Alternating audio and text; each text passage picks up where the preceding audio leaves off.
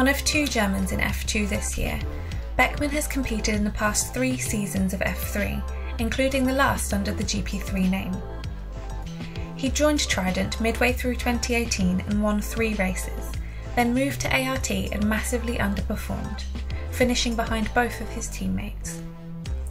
He returned to Trident and scored points in every race but one, in which he retired, and won two, finishing sixth in his standings. A move to F2 is deserved, even though it will be near impossible for him to replicate his past results.